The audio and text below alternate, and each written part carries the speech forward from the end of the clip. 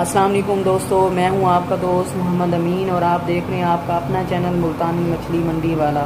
जी दोस्तों, उम्मीद करता हूँ आप लोग भी खैरियत से होंगे। जी दोस्तों, आज मैं आप लोगों के लिए एक नई वीडियो लेके आऊँगा मैं आज आपको बताऊँगा कि मुल्तान में देसी मिस्री देसी मिस्री मुर्गी कहाँ से मिलती है और क्या रेट मिलती है, वहाँ पर जाके मैं आपको सारी तफसील दूँगा।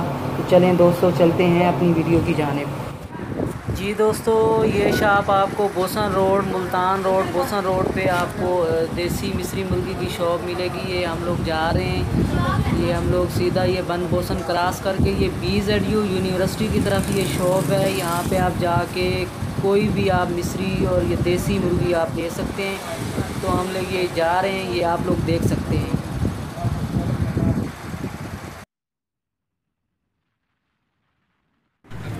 जी प्यारे दोस्तों, ये मैंने तीन मुर्गियाँ ली हैं। ये तीन मुर्गियों का वेट हुआ है सवा दो किलो। आप इससे बड़ी मुर्गी भी ले सकते हैं। तो जैसे आपका दिल करता है, मैंने तो तीन मुर्गियाँ ली हैं। ये आपके सामने तीन मुर्गियाँ वज़न हो रही हैं। ये तीन मुर्गियाँ, आप देख सकते हैं, ये तीन मुर्गियों को मैं ज़िबा करवाऊँगा आपके सामने।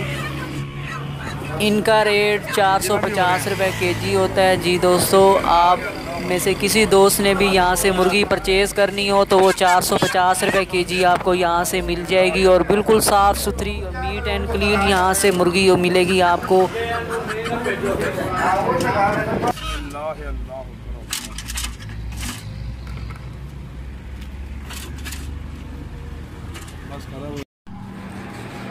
जी बस ये देख रहे हैं आप लोगों के सामने ये मुर्गी तैयार हो गई है। और ये देखें, ये देसी मुर्गे की निशानी होती है कि वो बिल्कुल जो है ना, वो स्मार्ट होगी। देख लें, ये बिल्कुल कितनी पतली है, बिल्कुल बारीक है। इसीलिए ये देसी मुर्गी की ये निशानी होती है। इसका गोश्त आप देख रहे हैं कितना सफ़ेद है, बिल्कुल वाइट है।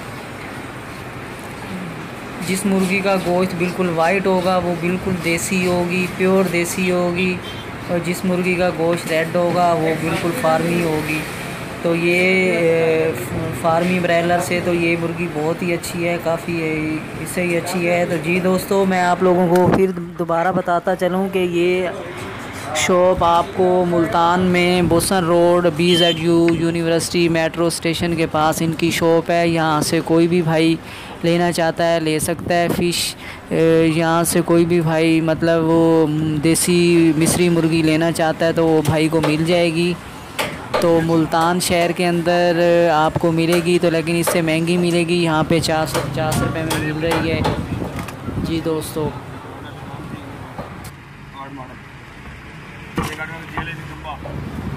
आप लोग अपनी मर्ज़ी के पीसीस बनवा सकते हैं, कढ़ाई के बनाना चाहते हैं।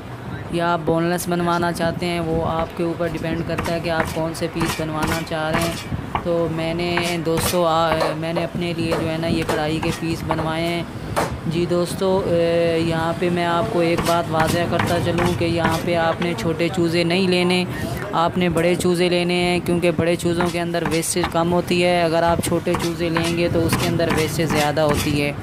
तो मैंने यहाँ से मुर्गी ली थी, सवा दो किलो ली थी और मेरा गोश्त का वज़न निकला है एक किलो तीन सौ ग्राम।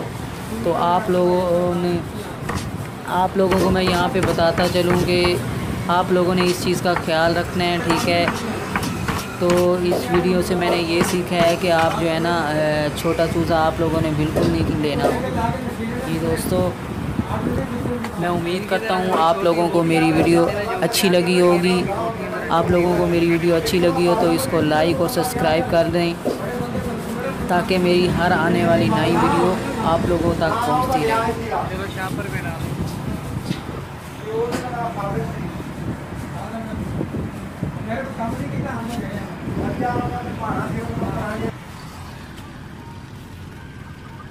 अब इसका वज़न करना आप कितना वज़न है? डेढ़ किलो सवा किलो